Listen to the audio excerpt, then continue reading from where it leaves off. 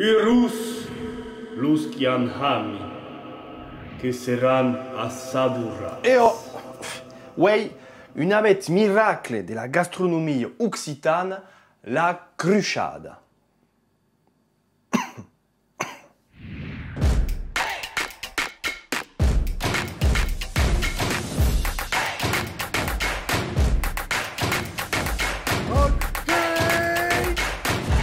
petit tourna a l'endarré enta un recèt deja coneguda au segle XV en las lanes en Gascunyo e au dela la cruchade apera de tabè la broi, l'escautu ou en cuèr l'armutu. Adixat, adixat, adixat! Ah! Eh, uh, Desencusat-me, uh, que cert la cantina!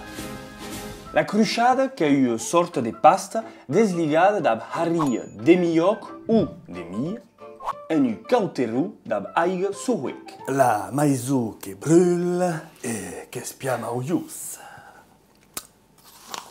Pendant her, qu'est-ce que tu considérais comme une place de praubes? Une rousse, c'est les praubes, le royaume de, de humédiche qui sera bon. La dite. Et sinon, la cantine?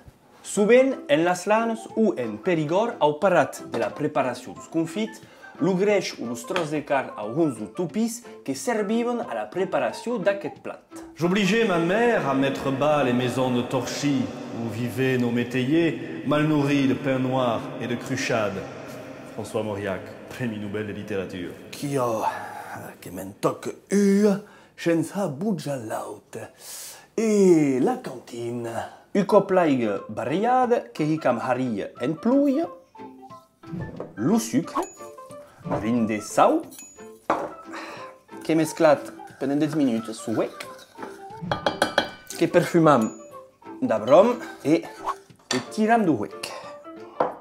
Mmm!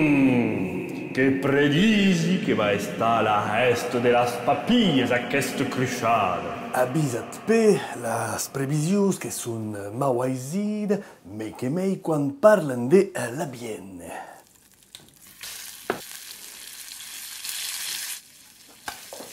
Ukop frit en oli cauda. Hop! E saupicada de sucre que pei promesas que ei u delici. Las promesas que engagen son que los qui las creen.